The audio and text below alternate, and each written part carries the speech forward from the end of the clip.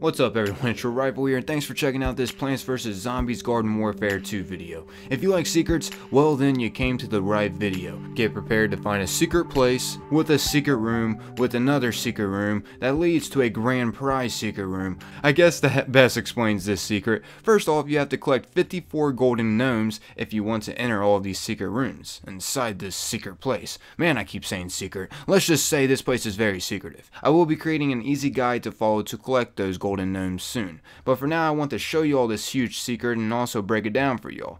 First off, you only have to collect 10, I believe, in order to get this phone call randomly out in the open at this area. They will give you a key to enter in the Gnome Man's Land, which that'll give you an achievement, trophy, whatever you're playing on. It'll give you something special when you enter into this area. And this will be the first secret place of all these secrets in this area. You have to take this gnome bomb down into the sewers and plant it outside the gate right before the gnome target practice area. This once again will take you inside the gnome man's land and it looks freaking awesome in here. And also you can collect some nice loot down here as well from the chest, but in order to get the real goodies that add up to a lot, I mean you'll at least get over 500,000 coins. I know for sure you get two 250,000 coins out of two of the chests so yeah, just keep that in mind. And also a lot of other awesome stuff. You have to once again collect 54 golden gnomes though to enter that area with those goodies, which can be a real pain I'm not gonna lie, and time consuming. So be prepared for that journey, make sure you have some time to spare to collect them.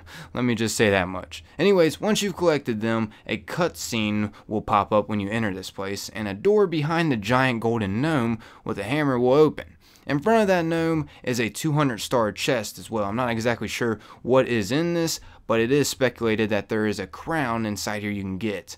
But who knows what's in it for sure. Anyways, in the door that opened will be even more loot to grab. A Thinking of Brain statue, 100,000 coins will be in this chest, so now that I'm looking back on this, I got way more than 500,000 coins. So there's some pretty promising news for you guys. If you thought 500,000 was a lot, well then you're going to be getting a little over 600,000. Hey, maybe even 700,000. Who knows how much you'll end up getting at the end of this. I just already had a lot of coins before I entered this place, so I can't give you guys an exact number, but I know you get plenty. Literally, I think the secrets in this gnome man's land are the biggest treasure rooms in the game. And lastly, you'll get a bonsai tree as well.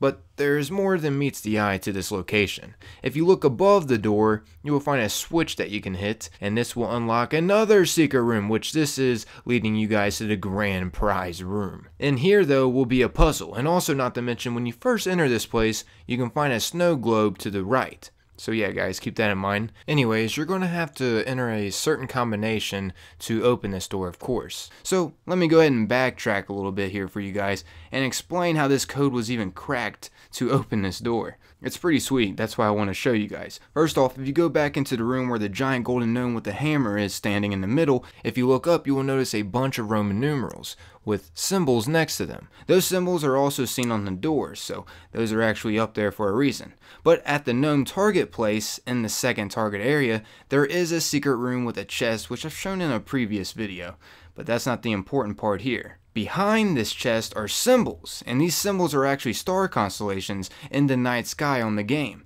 As you can see, they are above us in a specific pattern. And if you go down into the secret room, which pretty much everyone knows about in the game, right next to the gnome target practice area, you know, the secret room that looks pretty identical to Fable 3, yeah, that one, it has a mini three-dimensional model of the battlefield in the middle and above this model are the same symbols on the door that needs a combination. So on that note, in here was the actual way of figuring out this combination. As you saw there were four star constellation patterns, and there are four symbols you need to enter the door. Yeah, there's a brief explanation for y'all on how the code was even cracked. So for the combination on this door to, you know, get inside, first off you want to go to the watering pot, and then to the left to the flamingo, and then from there you want to go back over to the right side and go to the picket fence.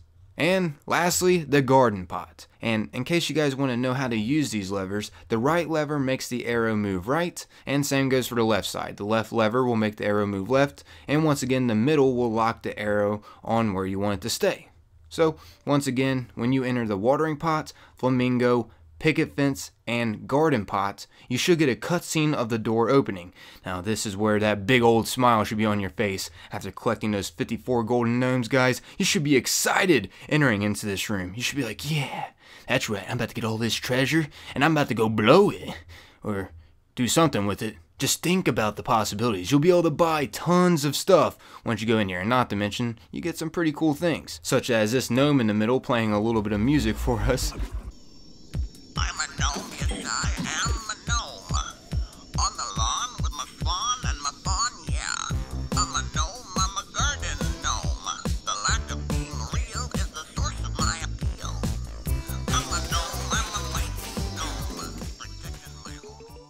I don't know if the music that this gnome is playing hints at another secret or something, but I do know you get some special goggles out of one of these chests. And not to mention, like I was mentioning before, tons of great loot, like this King Gnomus Reign and this King Gnome Guard, and not to mention two 250,000 coin chests, and like I was just mentioning before, the special goggles, which are called the Gnomish Perspective. And I actually believe that this will lead on to another secret.